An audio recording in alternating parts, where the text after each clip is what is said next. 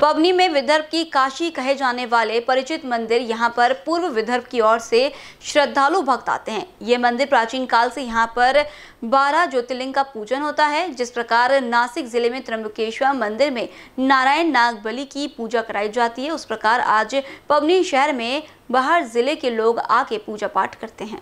Corona महामारी से मंदिर में पूजा पाठ नहीं होती थी। वजेश्वर देवस्थान पंच कमेटी ने इस मंदिर को सुशोभित करने का प्रयास चालू है और श्रद्धालु भक्त मंदिर में दान स्वरूप निधि भी दे रहे हैं। इस मंदिर के सचिव महादेव लिचड़े अपना पूरा समय मंदिर की देखभाल में व्यस्त रहते हैं। इस कमेटी के अध्यक्ष भास्कर उरुड़कर, उपाध्यक्ष लोमेश ठेंगड़ी, सुरेश अवसरे, राजेश यलसट्टीवा, प्रकाश पोटफोड़े, मनोहर खड़गी, राजू चोपकर, दत्तू हटवार श्यामदेव शिफरकर इन सब की अथक परिश्रम से मंदिर को सुशोभित करने का प्रयास कर रहे हैं।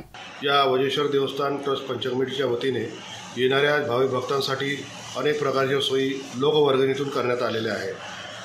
कोरोनाच्या काळामध्ये हे मंदिर बंद होतं त्यामुळे आर्थिक टंचाईला आम्हाला पुढं जावं लागलं.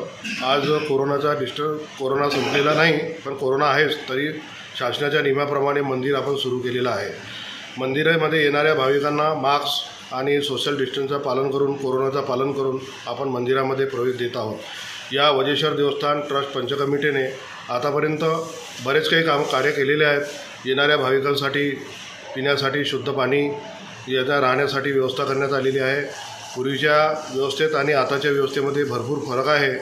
येणाऱ्या येणारे जे भाविक आहेत त्यांच्या तोंडातून नेहमीच असं सांगण्यात येते की जुन्या पंच कमिटी आणि नवीन पंच कमिटीमध्ये फार मोठा तफावत आहे. बीसीएन न्यूज़ के लिए राजेश येलसेट्टीवाल की रिपोर्ट।